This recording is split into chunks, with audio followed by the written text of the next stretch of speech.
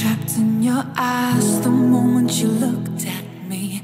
From across the room, those eyes kept following me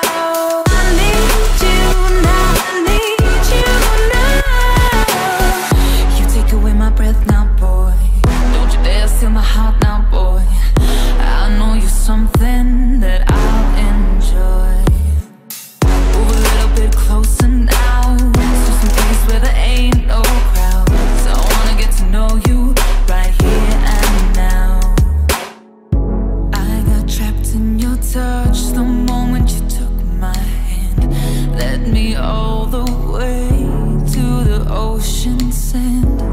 You told me don't worry.